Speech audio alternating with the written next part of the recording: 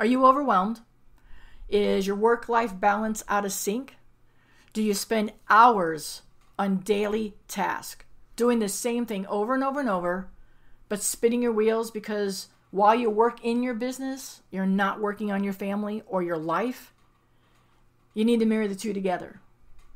Today's guest, Dave Shay, is all about work life balance, finding and putting CRM systems and automation in place so that you can grow your business, a purposeful business, and also one that's profitable. Because Dave and I both agree it's okay to make money on your business, to collect a paycheck, especially when you're working your passion and your purpose. It's okay to do both. He is a hardworking photographer from Raleigh, North Carolina.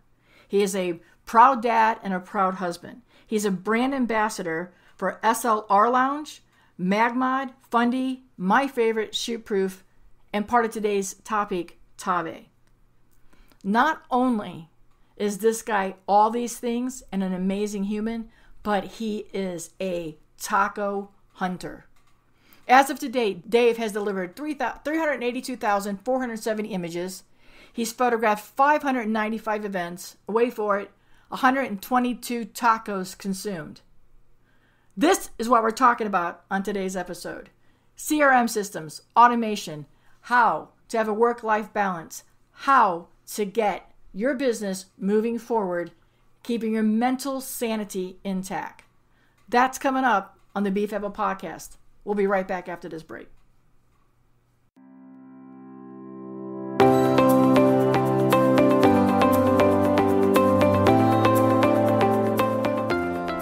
Listening to the Apple podcast. Episodes full of candid conversations that speak to the hard truth that it takes more than hustle and luck to be your own CEO. Being a creative entrepreneur and running a business is not at all like the glam that you see on Instagram or reality TV. The truth is, it's showing up every single day, putting in the blood, sweat, and yes, lots of tears. Oh, do not forget all the hard work. I'm your host, Bobbi Brinkman, photographer, coach, speaker, wedding industry educator, diet Mountain Dew addict. You see why, right? I am hitting the pause on that hustle and luck myth button because it's more than getting a really cute website and hanging a now open sign. Not just waving the magic wand so that all the success, money, and clients will just be lined up ready to hire you. Hope is not a business strategy, my friends. And along with my guests, the goal of our podcast is to motivate, educate, and celebrate creative entrepreneurs discussing topics and information that will help you get and keep you in that CEO mindset through our candid conversations.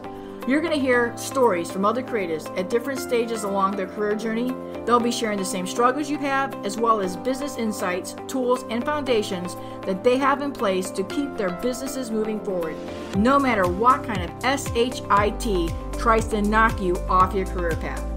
I want to challenge you to unapologetically keep showing up to attract your ideal clients, serve them in the most fab way while collecting a purpose driven paycheck. I want to empower you to create a career that you not only love and are proud of, but also one that your clients love and will support even more.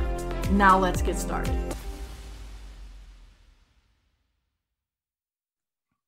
All right, listeners, welcome back. As promised, we are going to dive in about man work-life balance and CRMs and and what can we do in our creative businesses, especially photographers. So photographers, this is your episode. Everybody else, listen in, but we're going to dive. I've got the amazing, talented Dave Shay joining me. You heard me mention him in his uh, his bio introduction, and uh, I left off a little bit about taco hunter extraordinaire because I think that is a perfect way to dive into a hardworking photographer and a brand ambassador. But we're going to start with the food. We're, it's in the middle of the afternoon here, Dave. Let's start it. Welcome to the show, Dave. I'm super excited to have you. I am so glad to be here. It's uh, it's really just a privilege to be able to chat a little bit and get from your experience as well as uh, being able to share a few things, uh, bumps and bruises I've learned along the way in my my industry experience as well. So you know, really just excited to walk through it.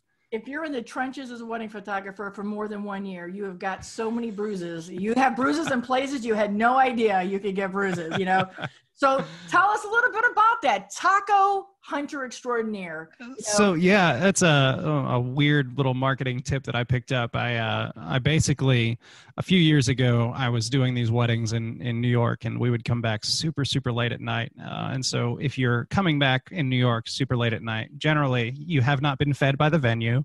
You've survived on granola bars all day long, and you are now looking for any form of food and your options at that hour of night are fairly limited. And so what happens is is taco bell is usually the, the horrible stop that you make on your way to the house. And so my team and i got in the habit of stopping at taco bell to the point where i hired somebody new and we were driving home. And he we were driving home at like i don't know 8 30 9 o'clock from like an afternoon wedding.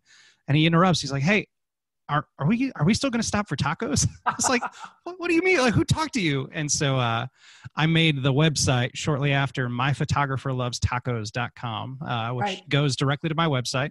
And the fun part about that is that that thing has made me more money than I think at this point my regular website has. So it's been a, a nice little thing I've picked up. But tacos are very near and dear to my soul at this point, we'll say.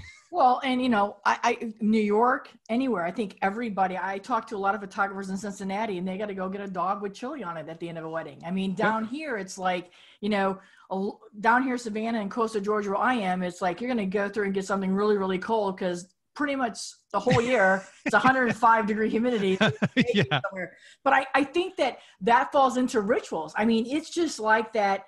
Yep. I leave everything at a wedding, and I, I know you do too. I mean, yeah yes, driving home, can we talk about, oh man, if I had one more time to do that or one more second, but I leave it all. I'm, I'm that, I'm that photographic athlete that just leaves it on the floor. So yeah, I have to go, you know what?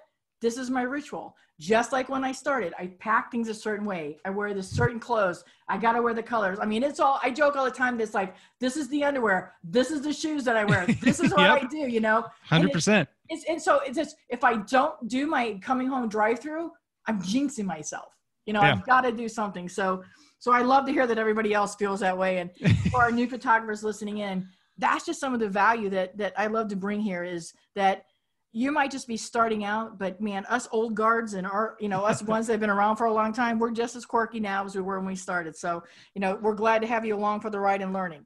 So diving into that hardworking photographer and the brand ambassador that you yeah. are for, for several products, you're also a proud defender of the work life balance. So, today's episode, everybody, we're going to talk about automation, CRMs, and while we're not going to dive into comparing one product to the other, we are going to talk specifically about one a little bit, but there's a reason why. Um, Dave is also an educator and uh, he's a brand ambassador. And I'm going to let him share with you. You all have heard my philosophy. If I speak to something, if I have an affiliate link, or I tell you something, it's because I have used it. So, Dave, share a little bit about some of the other brand ambassadorships that you are and how that also helps you in your business right now. And then we'll dive into CRMs, but how being affiliated with certain companies yeah. does make your life easier. Yeah, and I think the the transition for me from photographer to ambassador was not one that I ever forced or tried. Like I never went out to be a Magmod ambassador, right? Like that was something. In, in fact, uh, I am on record, and I'm reminded of this often, as a pretty outspoken person that was against Magmod when it first came out. I didn't like. I was like, ah, it's just one of those new tricks that yep. photographers are going to buy into. Eh, it's so. And you know what? Like I, I did a bridal shoot and I was there and a friend of mine came to assist me and she had a Magmod there and I was like, eh, let me let me let me see that. Let me let me take a look, right? And I noticed that I was able to maintain communication with the bride that I was working with. Yep. And I was able to not break eye contact or anything while I was changing out all my modifiers. And that seems so simple, right? Like that seems like, oh, well, that's not that hard, right? But like all the lighting stuff that I used at the time was very difficult. And I would stop. And so I'd start talking to them like, hey, this is what we're going to do. And then I'd stop and I'd go mess with my lights. And then I come back and I realized that it broke the flow of the shoot. Right. And so then, then I started using Magmod stuff, right? Like, and that was, and then I transitioned to them. And so, and it was the same thing for me doing. This. So I'm, I'm with Magmod, I'm with Fundy, I'm with a few other companies as well. Uh, Lytra is another one. And it's, the, it's all the same thing. Does this make my life easier? Does this make my client's life easier? If you can do either of those two things i don't care what your price point is like i just don't. Like right. it will help me deliver more value long term. And so it was the same thing with fundy. I used to design all my photo all my albums in photoshop every single one right and like and it was horrible. Like I, I didn't know idea. And then like somebody's like you got to do InDesign. I was like let me try InDesign. And I'm like this is twice as bad. Like I knew Photoshop. This is just horrible. Like right. and so like you try to figure things out. But like when you mentioned the proud defender of the work life balance what I what I realized was I was doing very well for myself. And you and I tout the similar thing where when when photographers talk well figure photographer like whatever that is that's great but that doesn't necessarily mean anything because in my in my heyday if you will i was in i was living just outside of new york. I was doing great. I did 53 weddings for myself um and i second shot a bunch as well. And so i did 53 weddings in a single year which first off do not recommend. Yes. not wise. Really really foolish. And, and no associates. like that was just 52 me weeks in the year and, guys. 52 weeks in the year he did 53 you do the math it was it was a bad time. And but what I did that year, so I cleared three hundred thousand in revenue, right? Which is pretty awesome until you look at the fact yeah. that I worked every Friday, Saturday. Yeah, yeah, exactly. So there's that too. But so I did every Friday, Saturday, and Sunday from April through November, the year that my daughter was born. Wow. And so I almost missed the whole first year of her life first off and second off i was working 70 to 80 hour weeks at a minimum which i left my job as an engineer right specifically so that i would have lower work weeks and i could do my dream job and all this stuff. And so uh, when you break that down hourly i was making about 12 uh, on the best day either the best week that i looked at i was making $12 an hour. The worst and the normal i was making about $6.50 an hour which is worse than my first time job right? Like or like it was terrible. But like we we tout these things for success. We do these things. And that's where like a lot of times when you start getting in the like you start talking and you start doing stuff in the education world you start saying like oh this this because of this or this lines my right. po- pockets. But the thing that i genuinely care about is i almost ruined my life as a photographer my personal life because of my company. And that's where the only companies that i work with right now believe in that same value of we need to provide value to our clients. Like you said leave it all on the wedding day right? right. Give that out there but we also need to defend the life that we're trying to build.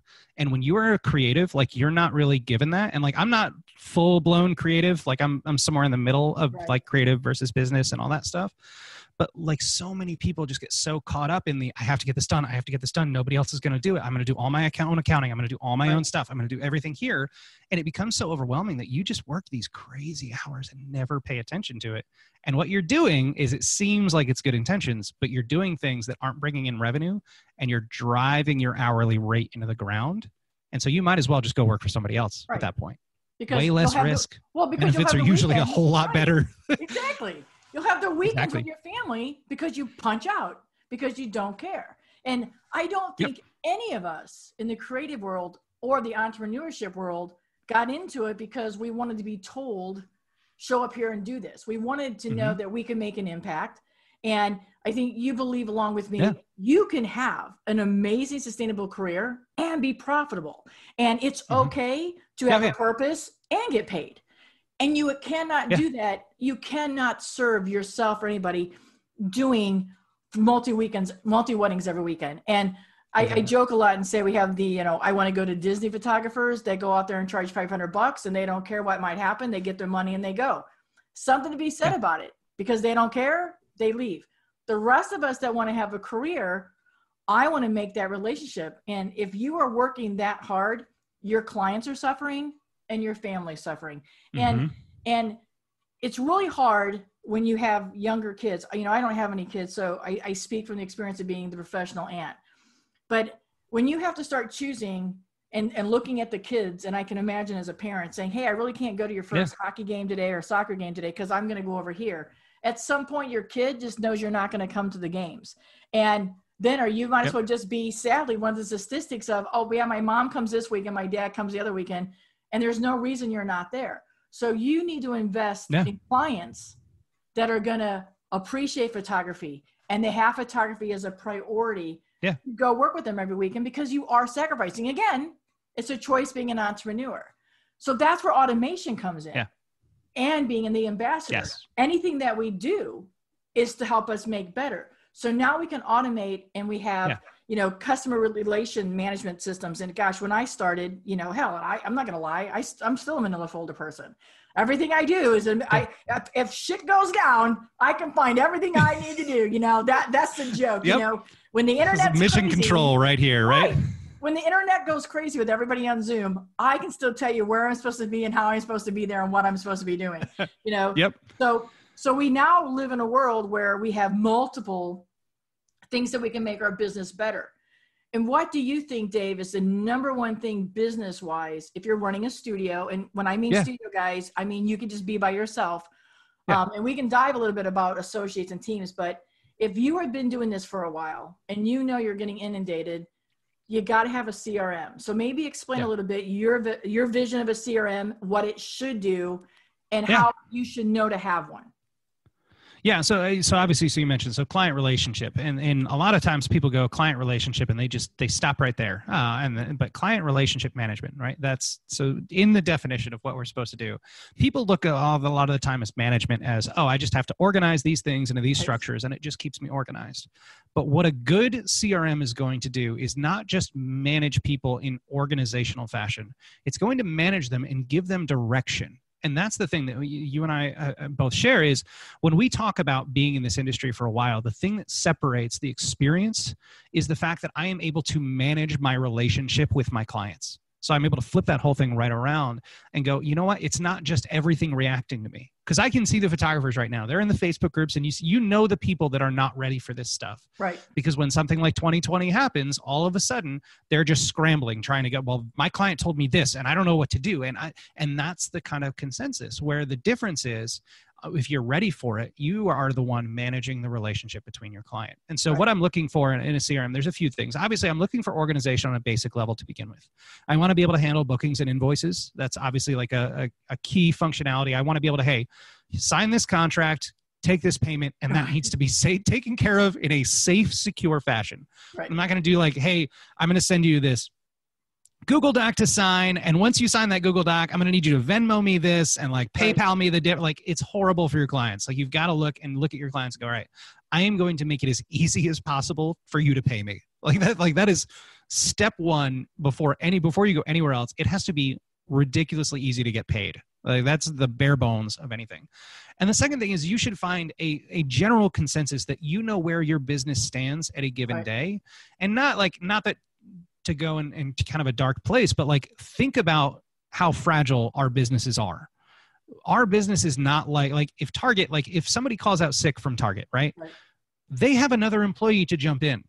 I am not Target. If I like if I go down, there's a good chance my email doesn't get taken care of on a daily basis. And right. so if you've seen this happen where like I've had the unfortunate experience of watching people that have been in this industry where like they pass away suddenly or something like this happens and nobody was ready to take care of their business. And other people i've watched people jump in to try and salvage. And like oh. friends that friends have done incredible jobs at that. Like one of the guys that i respect the most that has taught me probably the most about photography his name's josh lynn. He's a photographer in new jersey.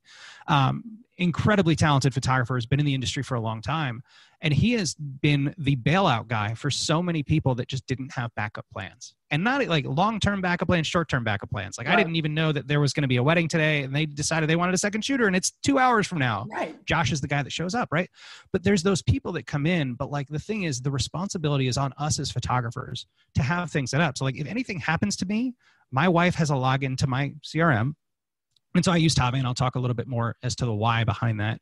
Um, but I, she has that login to Tave. She can log in and say, "This job was delivered. These two have these ones. This one is out to editing or in the process or whatever that looks." She can see everything about my photography business, how much money is outstanding, how much has been paid, everything. And she's not the only one with it. Right. She's got logins. Other people have logins. I don't care. Like I'm you want to see the inside of my business? Great you're my 911 call so like right. be ready to know. And that's the thing that i think a lot of people miss in terms of a crm is hey this needs to be a full picture view of my business at any given time. And so that's the, the kind of the next step.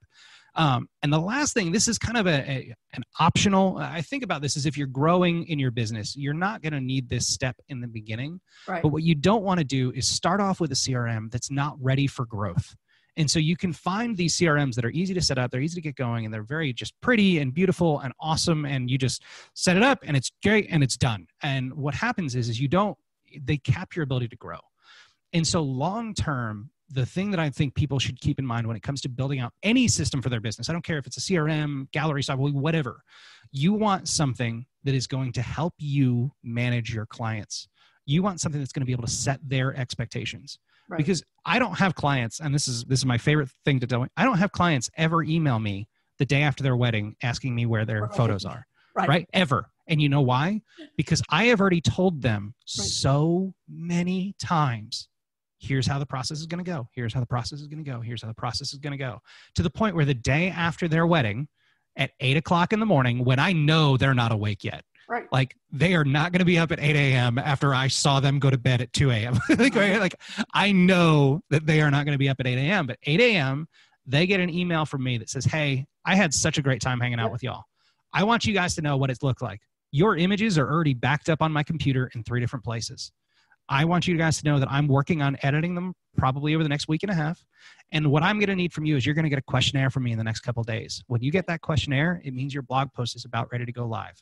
So that means your sneak peek is here. So if you see it, fill it out real quick. Uh, I don't get the point. email. Exactly, exactly. Or you don't get the email from, or I've been at weddings where people said the grandma or the aunt will go, so when? No, no, no, no. Don't even ask Bobbi. It's three to four weeks. I mean, they'll Exactly. just they'll just say that. Or and like for me, they'll say, no, don't ask Bobbi. And that you have to talk to Tina because Bobbi doesn't know the whole Yep. backside of the admin. I, I tell people, you do not pay me to be the admin. You do not pay me to answer Yep. your emails. When Tina sends that questionnaire out, that's because she's getting ready to do your blog post. And that Yep. means she's getting ready to tell you, hey, Bobbi just loaded everything to ShootProof. Here it goes. You know, that's what's happening. Yep. And that's the stage that I think you need something to grow with as well. You Yeah. have to you have to sign up with a company that and, and you need to check. And I'm gonna be Yeah. very blunt here, especially now. You need to go with a company that believes what you believe in, that Yes. supports your voice, Yep. that isn't so far off your beliefs, right? And then you want to invest in one that's a little bit more than you need. Because the Yep. last thing you want to do is start all this and then within a year, because you're doing it right, have outgrown it and start. And that brings up to the number one myth that I always get asked is the learning curve and the investment. So why do you want to start with something that you got to keep going all over and over? If you think about it and look at your investment, you spent twice as much starting over. So Yep. maybe defunk some of those myths for our listeners oh, about Oh, yeah.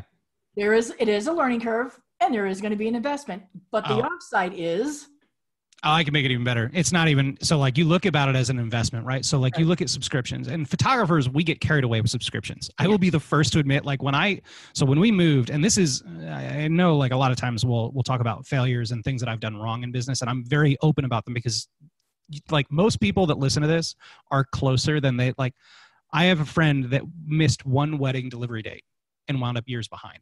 And there are so many people that I know that they're just one mistake away from winding up in a horrible situation because they're the one domino falls and the rest of your systems aren't ready to catch it.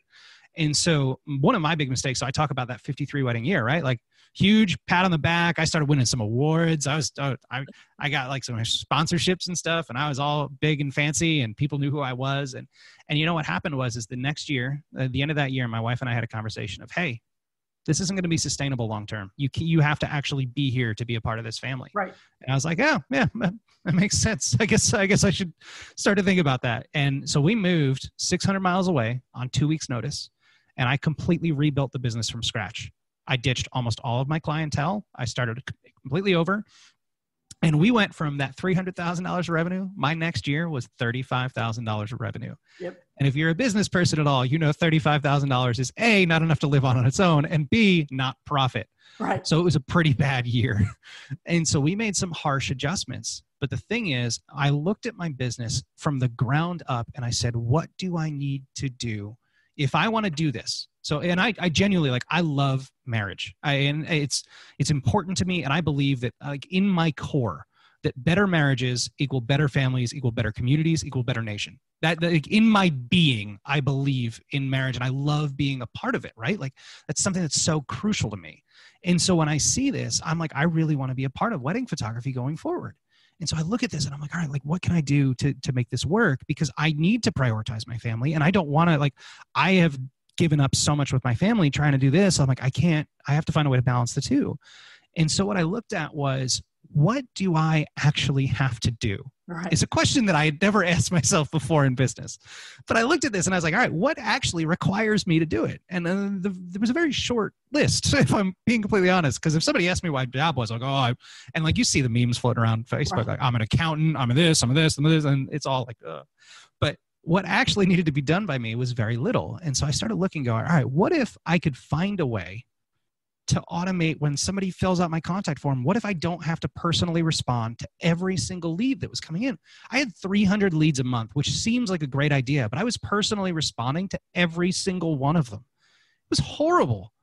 I get like 250 price shoppers every single month and i just here you go here you go here you go here you go here you go. I don't need to be doing that right, right. like i do not need to be doing that. And right. so all the time that i could have been out shooting or doing anything else, getting leads from a business that were quality, marketing, whatever this stuff was, I was spending responding to these emails that were going to go nowhere. And so I started being like, all right, well, what if I just checked off that? And so then I looked in, and at the time I was using, and I've used almost every CRM out there, um, at least in some limited capacity. Um, if it's just demoing a trial, to I've right. switched my business to five different CRMs. So right. like I've gone through the gamut, we'll say. Um, but so I, when I switched and did all this stuff, one of the things that I kept on coming back to was like, all right, well, what if I just automated this one thing, just one, and I just did, all right, that's five minutes here, and then that's 10 minutes here. And then all of a sudden I started building this out. And this was like 2016, I think, that I started to like really gain momentum. Right. What if, how, how crazy can I get with this? Mm-hmm. And so I started looking and I now get to the point where I have money hit my bank account and I don't know where it came from because I'm not in the office. Right. I work on average now on the other on the other side of this, right? On the other like on all the bad that I went through, on rebuilding, on putting in all this effort to build out systems and sustainable business, like you mentioned. Now I work between 5 and 15 hours a week. If I shoot a 12-hour wedding, I work 6 to 7 hours the next week and right. that's it. Right. I'm done. Right. The thing that changed the most and this is like when it comes to building out systems was I started looking at the things that I could build out as templates and then I, I, could automate. And we talk about growing, one of the things that happened over that time was I realized that after every single wedding, right? I would deliver them their, this gallery. And so I shoot proof for my galleries. And so I would deliver this gallery and I pay Shootproof a fair amount of money a year, right? right. So like I pay them whatever the unlimited plan is because right. I've been doing this for far too long at this right. point. so, I'm too lazy. I don't want to have to go there. It's automated. It never comes down. I don't have to do the task. It just stays there. See? Well, and so that was the thing, right? And so like it just it just lives there. And so what I so what I realized though is I'm paying yearly for this price to provide a service to my clients, which is great.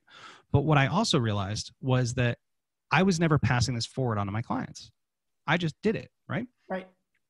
And so what I did is I automated an email and I sent it out a year after the wedding. And I said, Hey, I'm going to take your wedding gallery offline.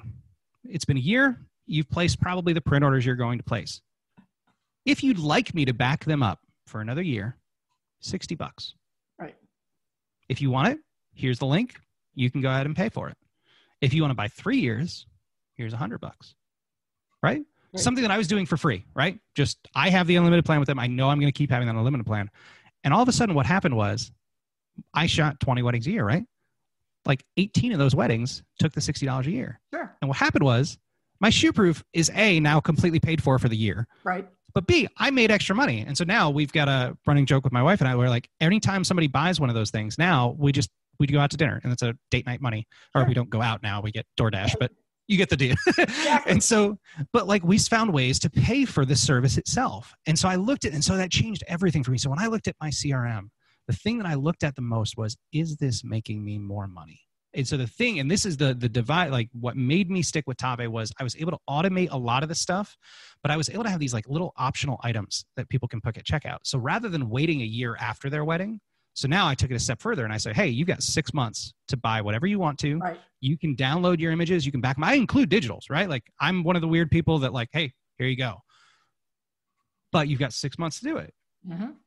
Take that time. If you need them after that, you can renew your gallery for a year. You're more than welcome to. But now at booking, when they go to sign up, they've got my collection and I've got one collection, pretty easy. Hey, here you go. At the bottom of that, it goes, hey, if you want, you can add in one year, three year, or five years right now. Check the box and it's all done. Right. And like doing that, and it makes us so much cash. And like those little purchases, those little things like that have like really helped fuel my business in a really bad time because like those little purchases when you think about like charging something for as simple as charging for galleries or something like that it was literally i'm trying to think of how much um, it wound up coming in but it was completely free like it wasn't something i had to do and it's just little bits and pieces here and there over five years worth of clients even let alone 10 15 years if you're doing this long term. Right. you're stacking up residual income which is usually associated with pyramid schemes i promise. It's not it's not. But, but but i think that's the thing too. It, it's like it's whoever said just because we now have an internet system, back in the day, I shot negatives. I had to keep those negatives in a pretty cool place, all bundled up, because they would fit out. But if I move, and back then, and since then, I've moved three times. Do I? I'm, I'm hauling now. Full disclosure: those listening in my professional sport photos have all traveled with me because contractually I'm obligated. And I want Wayne Gretzky to call me for something when he gets an award, right? So, you know, yes. so it, it's those kind of things. But the people's photos that we take are valuable. You yes. and I believe immensely in this is our purpose. This is a service. It's yeah. valuable because people deserve to have our legacies. We yeah. want them to have these photos. I'm exactly to witness it. But I'm not required to be the gatekeeper of your memories. I'm required on the day of the wedding to be the historian but yep. I'm not required. And so if I didn't have ShootProof, what would I do? So yep. Photographers especially go, well, I need a gallery delivery system. I'll do that. But they don't want to do the other things that would also help exactly automate it. And it, it's, I mean, I, and I want everybody to know that just because I use ShootProof, I use ShootProof before they purchased Tave and whatever, yeah. that I, we're not saying they're one and the same. Full no, disclosure, you know, none of us get paid from those people. So I'm just saying, but the difference is, is we as photographers want to deliver what we just did to our clients and the number of people that go that don't even use all the things that shootproof has to offer because they don't know better because they yeah. didn't take the time and i firmly believe if you know better you'll do better and you don't know yeah. what you don't know right so now you have built in these systems and i hate to say I, am one of those people that i don't like to say as you and i are educators i don't like to say yeah. we have to educate our clients. I don't believe I'm educating them. I'm letting them know of the options and the experience that's going to be when you work with me. That requires you, how long would you like me to hang on to your images? Because let's face it, folks, most of these couples that get married now, especially, are going to move in three months, if not three weeks, because they got married to start their career. They don't want to worry about it. And they don't want yep. me to be calling them. And I'm not going to spend my time, automated or not, going, hey, one day left. Goo, guess what? No, it's sick, done. And then you do that. So now yeah. that we know we have those, we're, we're getting going for about a year and now we're building up our clients. We want to get paid. And I don't want to be sitting here because, again, if you have a website that's doing its job and converting, you will probably get 300 inquiries. Now, maybe some you can weed out with a little bit deep dive on your website. Yes.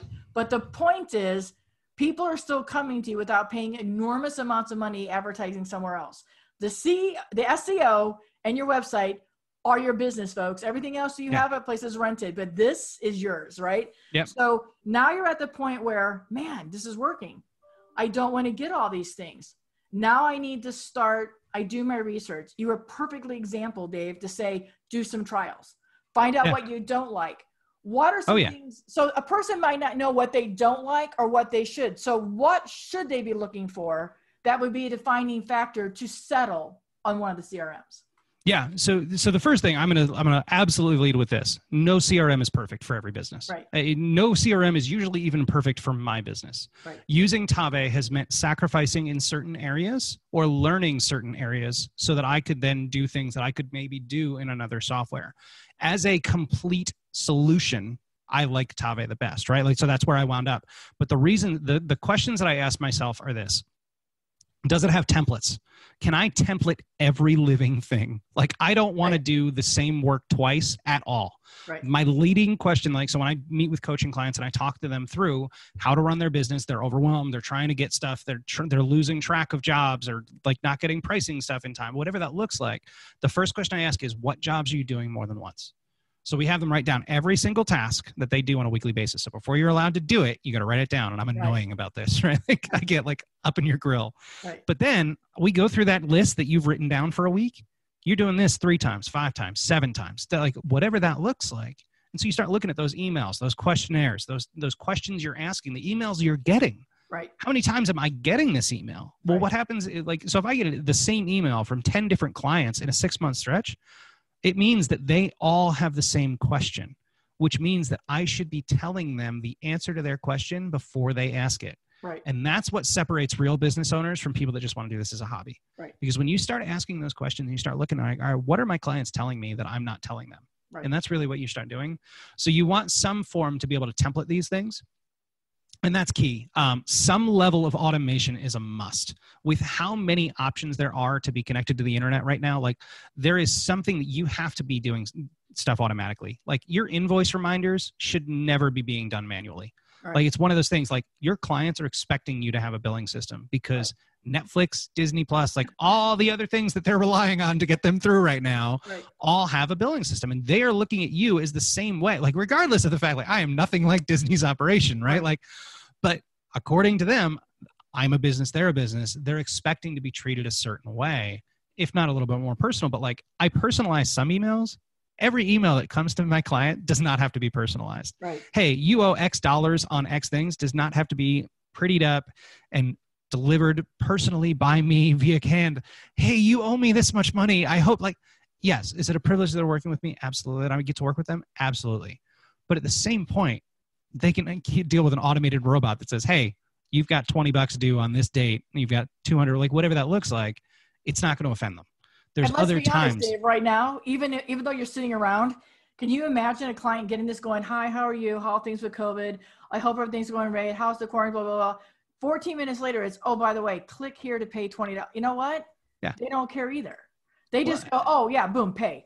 And again, adapting in your career with the clients that you want. When you get your ideal right clients, this is the generation.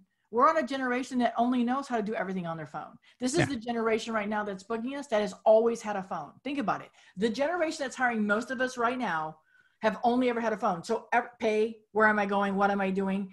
If you send an email, half of them don't even open their email on their phones anymore. It better be, you owe me this, click, or this is coming out, done. And most will sign up for automation, just take it out of my account and be done. that's but that's the you just hit the, the key to this and that's the other thing that's changed the most with the generation is here is the exposure to advertising and large corporations Right. you have to look if you want to succeed in your business like and I, I say this with full knowing that i am a photographer and i'm going to say it anyway stop paying attention to what other photographers are doing Yep. look at giant corporations look at why you're making the purchases you're making at target or amazon amazon has gotten so much money out of me this year Oh, yeah. I'm mad about it. I went through my budget item last week and I was like, like, wait, dear Lord, like it's just an egregious how amount. come I'm not driving that little blue van? I've paid for that little blue van. Why is that little blue van always in my driveway, but never Like, being it's- used? he's here like four times a week. Like it's been insane. But like I look at that and I'm like, all right, well, what are they doing? Why are they doing it? And it's you know what their emails are? Single calls to action. And you know what photographers do? We send these thing with 900. Hey, I'm so glad you booked me. Here's a styling guide, and here's how you plan an engagement session. And you just go off, and you're like, what are you doing? One thing at a time. Just Exactly. pick one. You can only be excited that excited about one thing. You got to pick. And you start doing that, and that's where you start looking at these systems from a bigger picture. Like before their engagement session, before we even talk about their engagement session, I send them an email and says, "Hey, your engagement session is going to be scheduled out soon. As you schedule it, here's some things I want you to think about. I want you to think about location. I want you to think about outfits. I want to think about what the two of you actually enjoy doing. Right. If you don't enjoy standing in a field looking away from each other like you hate each other, Right. don't ask me to take that picture. Right. Please, for both of us. Right. Like, like let's just skip it Save completely. And so, like, if you guys like hanging out at an arcade or a bar, let's go do your engagement session at an arcade or a bar. Like, maybe not right now, but like, that's the gist of it, right?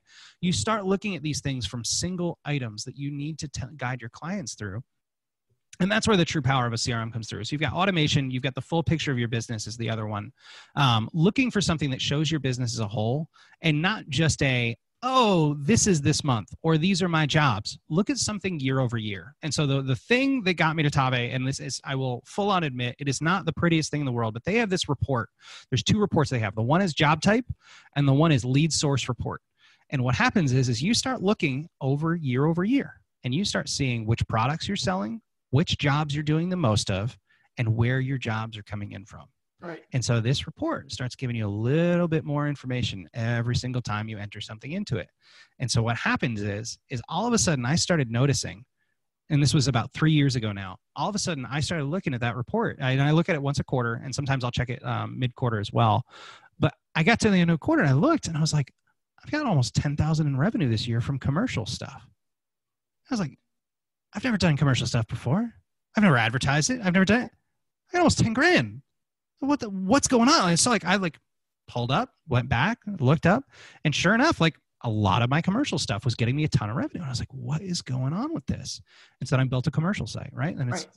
it's not great. I will fully, I will be the first to tell you it is not the best website in the world. Right. But it was a trial. I Right. spent 20 bucks on it. Let's see what happens, right? So I renewed the domain, did all this stuff. That revenue doubled the next year. Just with 20 bucks like oh all right so then what happens if i do this and then you start doing those things that you need to have a big picture view of your business a lot of photographers are firefighters they look at this job has to be done today this job has to be done today this job has to be and they just do the single thing that's in front of them today and don't ever think about the big picture of their business and that's again think like bigger companies like I am a huge Star Wars nerd, right? The Mandalorian is coming out September 30th. You know when they're telling me about it? No. not September 30th, right? They're telling me about it ahead of time to build up hype for it. Same thing with weddings. Talk to them. Hey, we shot your wedding yesterday. I hear your images are coming. Hey, your images are now delivered to you. You've got the. By the way, I am so excited to walk you through what your wedding album's going to look like. Here's Right. what it could be. Right?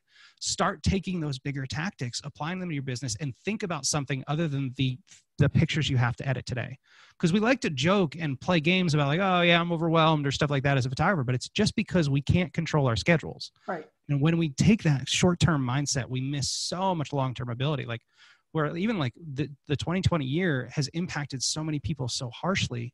And it should be a great reminder for a lot of us to look at our business from a long term perspective and say, what if 2020 happens again in five years? Right. Am I going to be okay then?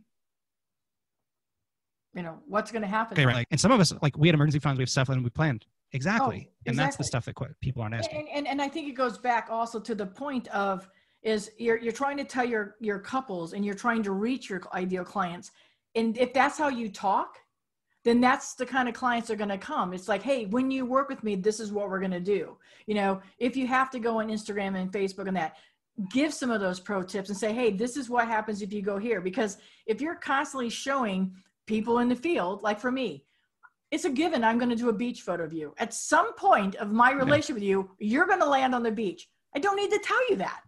Yeah. I, I, don't need to. I don't need you to go there, and I don't wait. For, I don't I'm waiting for you to go. So, Bobbi, what day can we go on the beach? It's hey, looking at the schedule. If we do if we do Tuesday at three o'clock, we can grab the the moss in the trees and hit the beach or sunset. I've just told them what they were going to ask me. So Yep. it's it's filling them in and letting them know about the experience. And and I think when we get these CRMs and we start getting in place, we want to be able to use most of the tools, but it's okay if we're not ready to use all of them, but we need to be able to use most of them.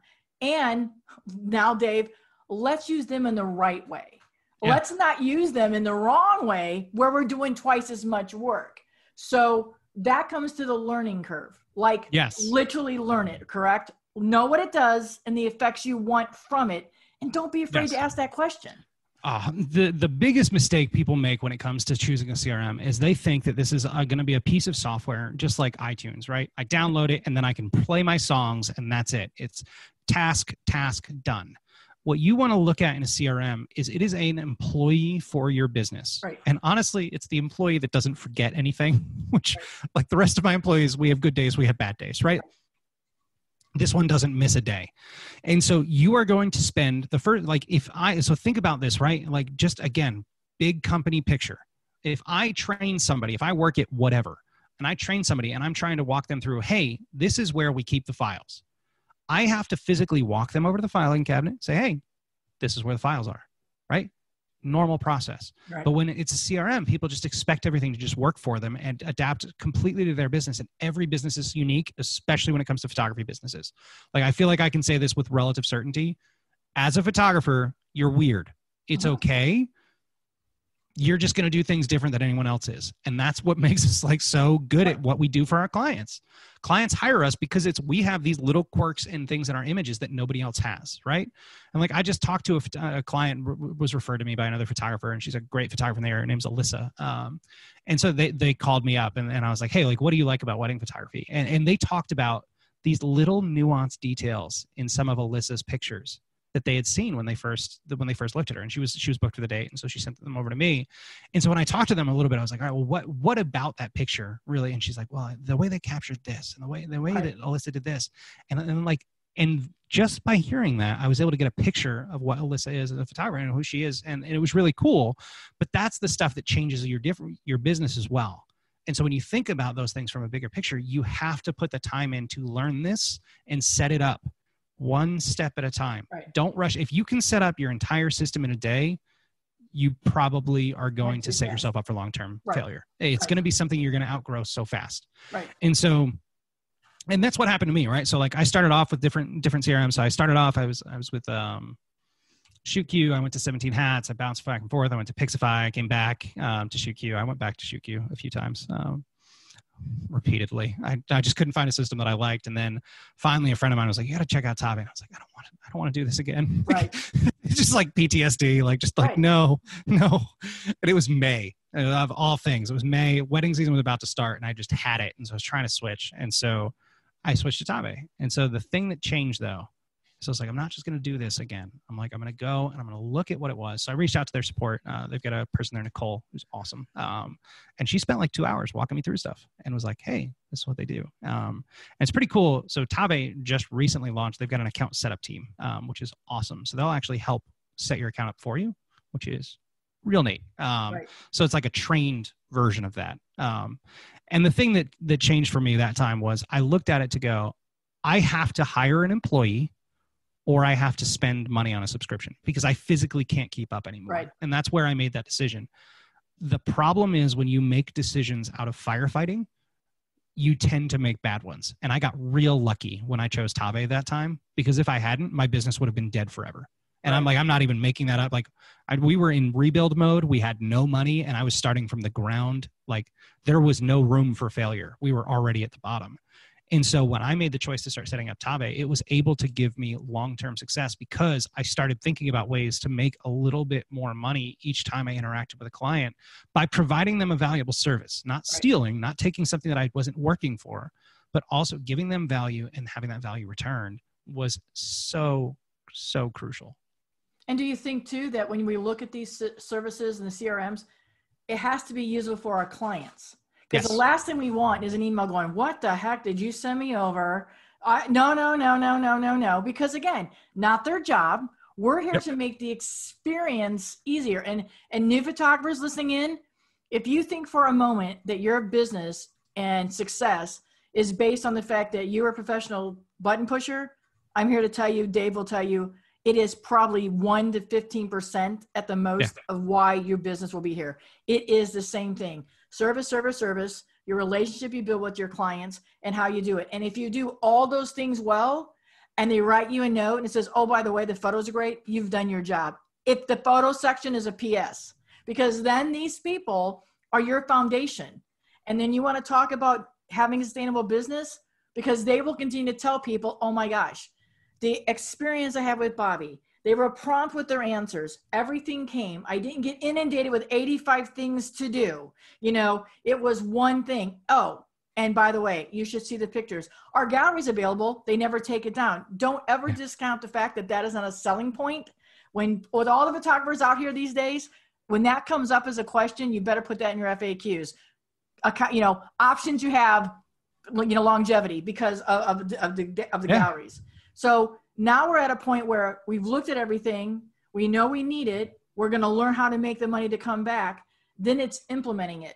Yeah. One of the questions that came through on Instagram was if you start with the CRM, does that mean you have to buy all new laptops, all new systems? What I've always heard the functionality of the CRMs required big, big machines. That's a myth. So I'm sure yeah, we can touch yeah. on that.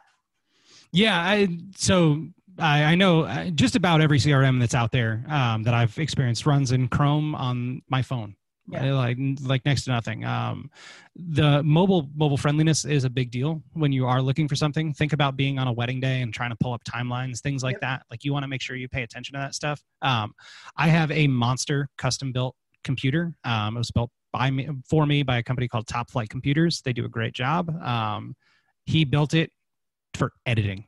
That's why I have a fancy computer. Right. Otherwise, if I'm doing Tave stuff, it's on my phone. Um, it's on a little MacBook Pro, iPad, things like that. Um, the thing, like, you don't need a ton of power. You need to think about things intentionally. Really, the hardest part about setting up a system and stuff like that, it's not like you don't need computers, you don't need this stuff. It's you need the one subscription, and then you can start to play with some others. But like, automation is a bigger thing you can start to look at your systems and look at it outside of like you you get your crm set up and now like i've got my crm set up and i've had it set up for a couple years I use other services to take things even further, right? Like I use Calendly to automate my client bookings and my engagement session schedulings and my album design sessions and all these other things, right? And then I use Zapier to connect that to different places. Um, and I use Zapier. Uh, Zapier is an automation tool. If you're not familiar, um, Zapier and IFTTT is another one. They're both they both have free plans, uh, so there's limited depend on how how deep you get with them. But I automate crazy stuff. Um, I have questionnaires that clients fill out that draft my blog posts on WordPress. Um, crazy automation stuff that like I could have dreamed about 10 years ago is now completely automated for me. File management, I have a, I don't know, 30 terabyte Synology under my desk. I have a 10 terabyte hard drive connected over here. When I export every single wedding, it goes to ShootProof and it goes to both those drives. I don't think about it. I don't have to, oh, I got to back this up and do that. It's just done. It's right. just done. And get that point in your business. Take one task. Like if you can take every week. So we, we gotta, so imagine you're a real job, right? 40 hours a week. Right. You can take one task a week and automate it so you never have to do it again. Right. And you do that for one year and your business will be night and day different in a year's time. And let's face it, the reason we do this is we can't wait to get to Saturday to actually be, or a Friday or Sunday, to be the photographer.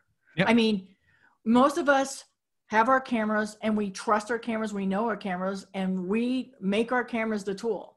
Imagine yep. being able to go on a Saturday and you're doing this wedding and know that when you go home, your system's in place and you're going to send that email out and everything happens. And the thing I want to talk about briefly right there on that is when you guys have told your clients the experience and you're going to get your photos in the gallery in three to six weeks. I'm going to remind everybody that on that sunday as long as you've backed everything up and done everything take sunday. Have that that we're going to talk a little bit about mental health before we let dave go but you guys you put these things in place. I'm all about you know over you know let's see let's under you know under under deliver and over promise i'm all about that right?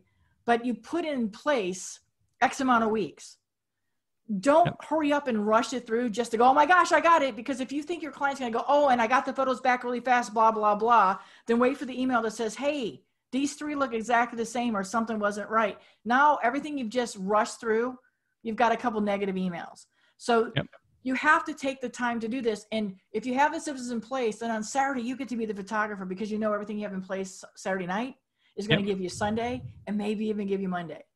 So the mental health aspect of this, Dave, is – that's what all this can do for your business so that you can have a purposeful business and a purposeful life. And yeah. that's something that you learn the hard way. And you don't want other photographers or other business people to yeah. learn. But it's, it's, key.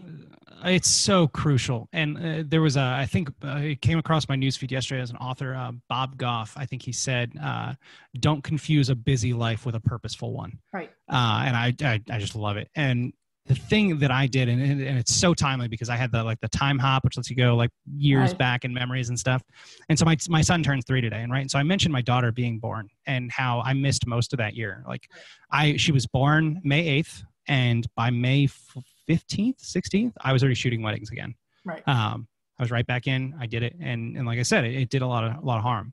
But when my son was born, I was born three years ago. That was the first year that my systems were set up and so what happened was, is we found out we were going to labor. I had shot my, my last wedding and been delivered.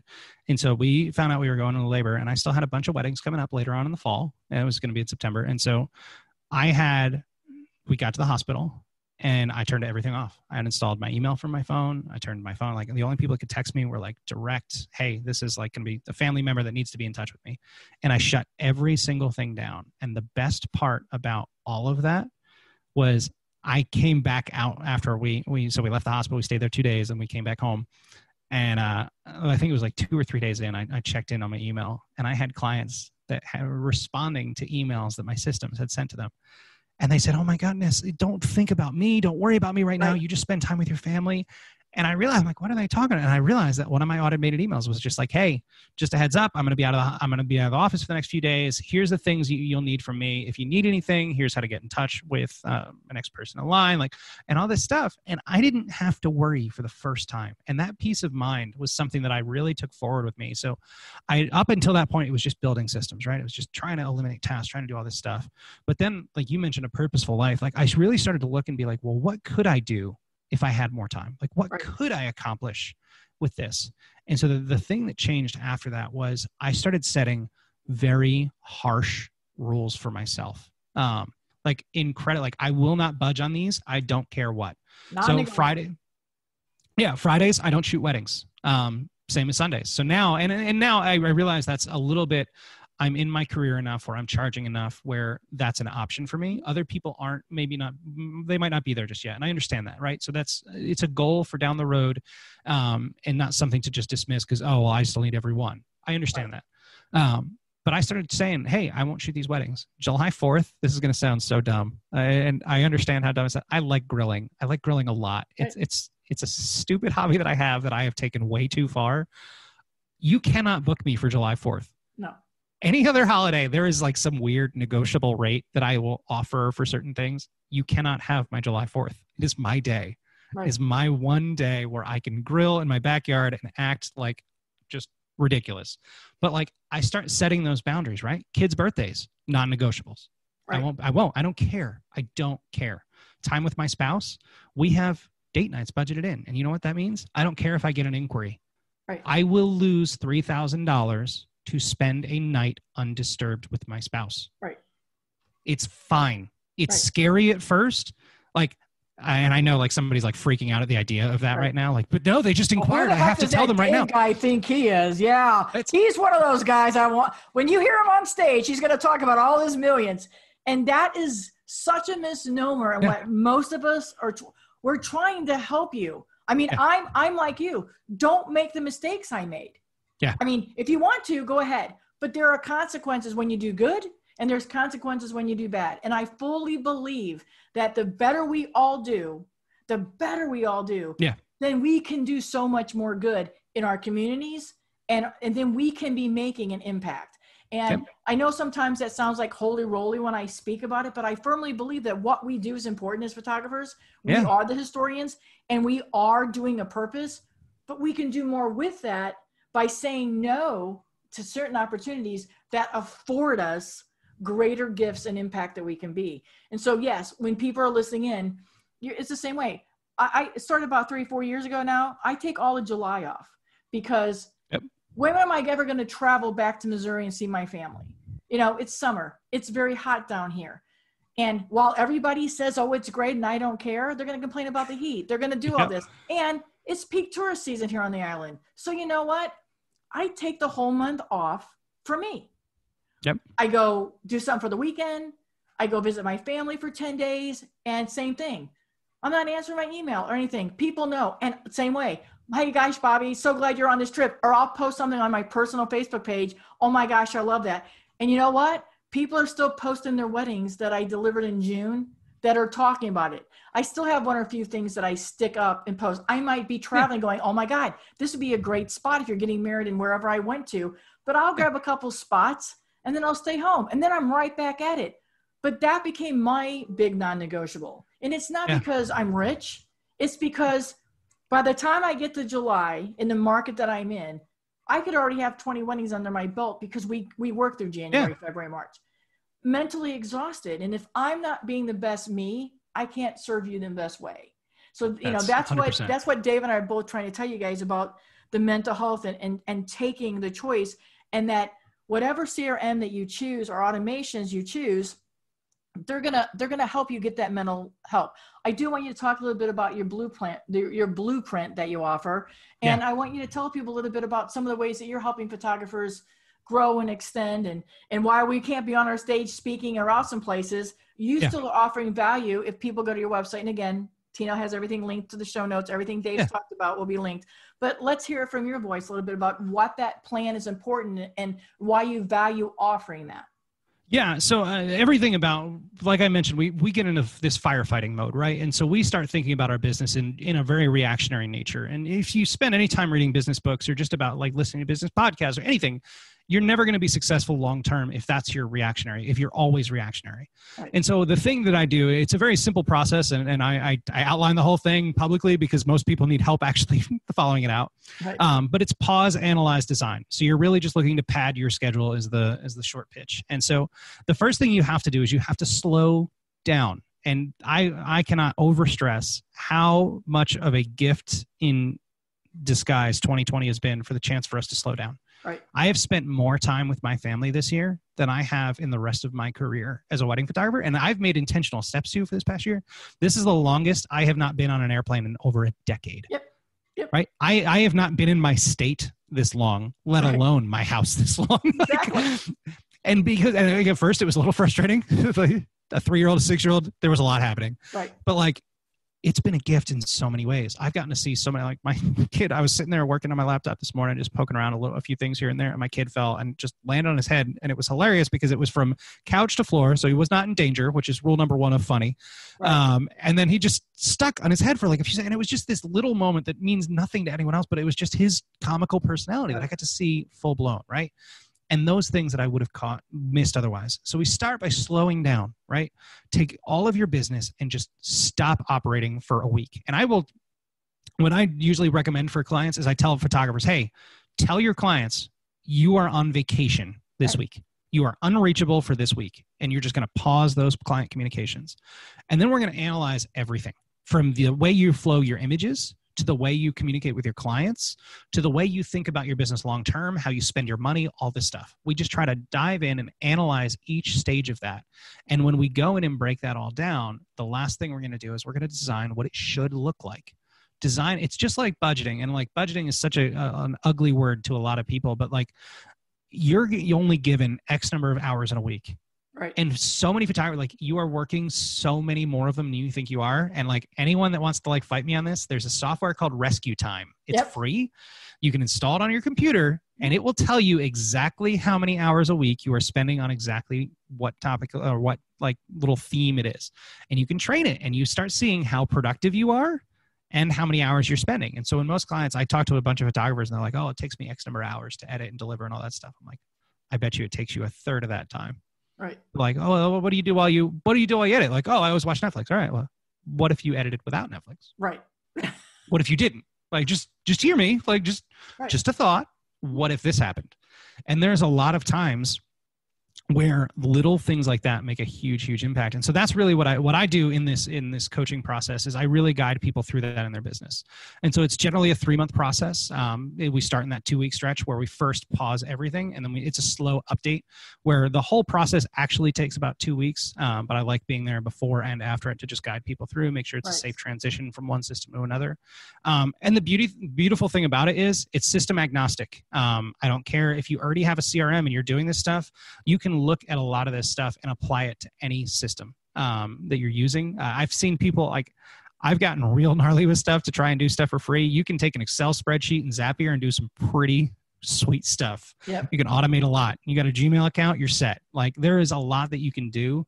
And the thing, the two things that like are the the probably key takeaways and the reason that I do these workshops and the reason I, I talk in general is there are two enemies that you really have. Uh, the first one is that you don't ever think you're going to be perfect and so you don't start. And so i can't design the perfect system so i'm not even going to start. And the second one is more. Photographers love to chase more more money more clients more whatever. Find what enough is write it down on paper and stick it up on your wall. Mm-hmm. and when you hit that number take your family, take your friends, do something and blow that celebration out of the water. I like we hit and I have an enough number every year. So I have an enough number of clients, I have enough number of weddings, and I have enough number for revenue. When we hit that, we have a steak dinner at my house. Exactly. Every single year. And that's because at that point, I've done what I set out to do. And if I do more, that's great. But like, I'm not looking to be a millionaire in this job. Long term, I save up a lot, right? I, I care about the future. I plan things out. But like, I take home a moderate salary every year, but we live comfortably. I enjoy time off. I'm not working every hour of my life. And that's the stuff that really, like, that's why I do these coaching calls. And that's why I care about the industry. That's why you care about the industry. Right. It's just because we want to see you live the most full life that you can take care of your clients the way that they deserve to be taken care of and build the best life possible for yourself well and, and this is a this this is a sustainable career you yeah. can actually but i think what they get afraid of is okay if i don't if i'm not making eight or nine figures i'm a failure. Again goes back to what we said earlier. I don't want to compare myself. The reason that sets me apart is me. I don't do anything like you do. I don't do anything like the other photographers does. Exactly. this is me. And this is what sets me apart. You're attracted to me because of some photos but you're yep. investing in me because of how I made you feel during the process, whether it's a CRM or it's a phone call or it's whatever. And then also, I'm real. Just yeah. like you have a job, the client that's booking me, you go on vacation. How many times, if we, if we, if we do a show of hands and all the people listening in would be like, I sent an email to my client and I got an automatic message that they're out of their office on vacation. Why are you not doing that? just yeah. because you're the CEO of your career and the CEO of your business, going right back to what Dave said, think about it as a business. That CEO isn't even looking at your emails or anything yeah. else, and he's on vacation. So you have to do be the CEO. Take the vacation and you tell everybody, I'm on vacation. While we have a very important job, we're not saving lives. We're preserving moments yep. to be treasured for lives just because your mom wants to know if that blue dress is the right color that's going yep. to match the others and you send me a photo of your mom in a really really poorly lit dressing room you're asking me the question my mom wants to know if Bobbi thinks this blue dress will class with these bridesmaid dresses yeah. i don't care yep. and mean, it's okay it's, it's okay okay not to care i care about the experience I'm going to offer you. But there, number one, it's a no-win situation to answer. You need to be in the dress that makes you feel the best for yourself. All right. Yeah. It has no matter. But when you start getting these things in place and mm-hmm. you want to have a sustainable growth, I love doing this and pushing 60. I, I do have clients that say, you can't retire, Bobbi, until my daughter, who is eight, walks down the aisle. Well, the joke is I'll have a walker with God knows what kind of phone. but there comes a point where, and I have a talk on this, when my body says I'm tired and my brain says keep going. I'm at that point in my career. And I've been yeah. very vocal about that, that I'm not afraid to say my body's tired. I have rheumatoid arthritis. It my hands. Yeah. I've made adjustments in camera gear. I I'm now at the Fuji's because it's still a valuable equipment. It does its job because I'm the tool making the camera work. Yeah. And it gives me some ease. And when I speak on this subject or people hear about it, does it make people not hire me? Sure. I'm sure there's four or five people that think, oh my God, you're kind of old. What will happen? And that's yeah. great because you know what? Not my client. Exactly. You know, and the automated systems that are in place for the business to run and the way that all new photographers can become middle photographers, that can mm-hmm. become long term photographers, that will go on teaching. This craft will continue to grow and evolve. And yep. we are the ones that will help keep it alive but we have to be able to be around long enough to do it and not just yep. treat it as a hobby. And, and exactly. that's the key point. So, you know, I hope listeners, you've learned that why we need CRMs. He's debunked some of the myths from you about you don't have these excuses not to have them. Yep. You're going to know how to reach out to him. I'm going to encourage you to take one of his courses. You got to hear him speak when we get back to live speaks. I'm hoping we're going to be on the stage together somewhere. But we're going to have all this. So before you leave, one of the last things I always try to ask everybody, and then you can tell us about the wonderful, you know, Tave bonus, is give me three words that you hope clients, fellow industry people feel about you. Three words that you're hoping people use to describe who you are as a person. Uh, yeah. I, let me think. So I think realistically, my top three real and right priorities. Uh, it's I, I hope that nobody leaves without wondering wondering where my focus is it's one of the things I love about ShootProof is their their slogan, which I'm so mad that I never I know never aren't got you the chance to that you steal. don't have that oh all the time uh, but focus on what matters most, right? Yeah. That, that's I did a video with them a few years ago, and uh, on that topic, and focus on what matters most. That's what I I hope no no one doubts my focus. right I hope that I hope my clients know that I left everything on the table for them. I hope my family knows the same, right and I hope at the end of the day I live a life that I'm proud of, and not one that I just worked away. Right, exactly. That the moments that we took time to capture other people are as memor- memorable as we remember capturing them, but that our family understands we chose some of those weekends to deliver that, but they have just as many with us, and that we're Yep. and that we exist in those family photos with our family. I joke all the time about that saying is ShootProof has been gracious to me and, and gives me swag when I talk. And every time I throw one of those cozies out, I always get the, oh my God, this is great. I'm like, yeah, not mine. Dang, that's not my phrase, you know, but I, I credit them. So remind Yeah. our listeners real quick, you got it. Tave was really gracious and, and allowed you to offer something. So I'll have you mention Yes. it and then Tina will link it back, but tell us a little bit about it and why we need to grab a hold of it. Yeah, so it's it's a pretty sweet deal. So it's uh the the code BEFABBO B E F A B B O uh, will get you fifty percent off of a monthly plan for the first twelve months, and if you message support and ask, they will do your account setup, which is normally a charge service for free. So Oh that's gosh. only only till the end of September, and that is a guided process. So they have somebody dedicated to walking people through this. Um, so pretty sweet. Um, they're they just launched this service a little while ago, and they're looking to get some people into it. So they're pretty excited about it. Um, but we're also just excited as a whole. Just I've always I've really loved the idea of what Tave brings to people, and seeing them under the ShootProof umbrella is a is an exciting. Oh thing. yeah, me too. I love it. And and I'm going to shout right now to all the gang at ShootProof and Tave. You know, thank you for being Fabbo. I mean, you know, I've been a fan for years, and uh, and uh, you may not know me all personally, but you, anytime I need something, y'all send me something. So again, Dave, you know, kudos to you. Thank you so much for the for your space, for honoring us with your time, listeners. You know. Everything's going to be connected back to Dave. You're going to be able to grab them. Remember, everybody, just start. You heard it from Dave don't be afraid to take those steps. Believe believe believe in yourself because you guys as photographers are making a difference. And every single night that you leave a wedding and you grab a taco you're going to think of this guy right here. Thank you so much dave. Till next time everybody cheering you on. Have a fabulous weekend.